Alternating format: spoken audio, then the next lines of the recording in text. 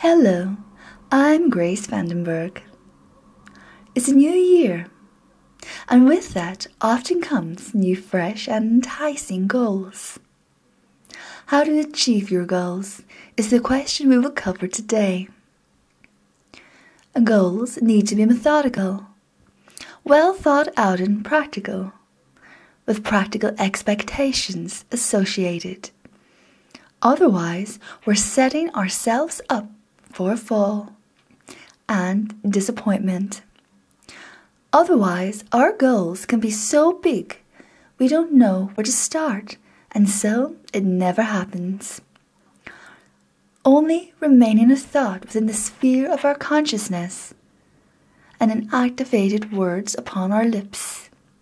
Stuck in a rut, replaying the same dream over and over, dying without achieving we don't want that for ourselves. Otherwise, we wouldn't be here today. Applaud yourself for taking the first step. You've made thought and action to learn, to try. Now you have a few more steps to go before your journey has thus begun. Not everyone allows themselves that kindness to self. The number one rule regarding motivation comes down to one thing your thinking. How you think creates how you feel. It's fuel, food, energy, nourishment. So, if you want to feel motivated, you've got to get the right thoughts in place, filling up the avenues of your mind so you can start feeling this way. Motivation is a positive feeling, which effectively births excitement. When we're excited about anything, we're hopeful. And excitement creates hope. Hope creates happiness. Happiness creates positivity. All of which in unison plays its part in developing motivation. If you set your sights on something, anything, it really doesn't matter what it is, you'll be inspired, motivated to get up and go and jump right in, which leads to action. We conversate with people almost every day of our life. Why don't we conversate with ourselves? A serious question I'm really asking. Oh, Right, because people who talk to themselves are crazy, according to societal standards. But let me ask you this What exactly has society given you? Do they pay your bills? Nurse you when you're sick at home? Are they there to encourage you to fulfill your truest potential? Are they leveraging you into the next and greater stage of your life? If any of these answers are no, then they must be rendered null and void, unimportant, and placed in their place. Forget all the things you've learned growing up and hardwire your brain with newer, updated, fresher data. Data that's accurate, and it be your resolve. If you don't have someone in your life that's on your side, who has your back, who encourages you to try and try again, and picks you up at the hardest of times.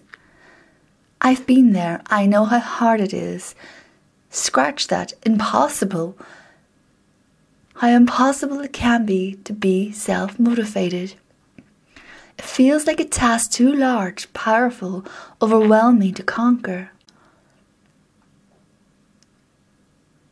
Then be your own belief system, be your own encouragement, inspiration, words of kindness, words of praise. Put your success down in black and white. An undebatable piece of fact, meaning write out your goals. Each day, track your efforts, failings, successes on your journey towards achieving the overall goals you seek. Each effort, failings, or successes, it shows your application and work. That all by itself is success in itself. That success should not be overlooked, neglected, or go unappreciated. Remind yourself each day of your performance and be grateful in your own ability to be able. Remember, huge success isn't achieved at one time.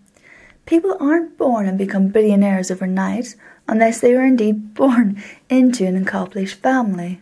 But that aside, that level of success starts off with earning pennies, hundreds, thousands, hundreds of thousands. That's grown into millions and billions. Each installment is effectively your stepping stones.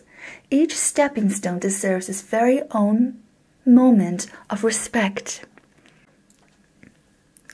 Respect for not what you're going to do, but for what you have taken the time to, to do. Perfection doesn't exist, so get that falsehood out of your mind right now. The ideology of perfection will become nothing more than a barrier, obstacle, that is destined to hold you back. And when you're being held back, either by holding yourself back or a legitimate obstacle on your course, it's wasted time, wasted life, wasted effort that's not going to pay off. And remember, in all cases of your realm in life, time is money, time is happiness, time is effort. Make it all count. Dreaming an ambition and making it happen isn't the same as dreaming a dream and being impractically optimistic. Optimism must come from realistic, methodical, systematic research. All else will grow from there. Now that you're nourished with provocative food for thought, I thus hope, might I ask you, what are you going to do with it? I'll leave you for now to your considerations. Until next time, I'm Grace Van Den Berg.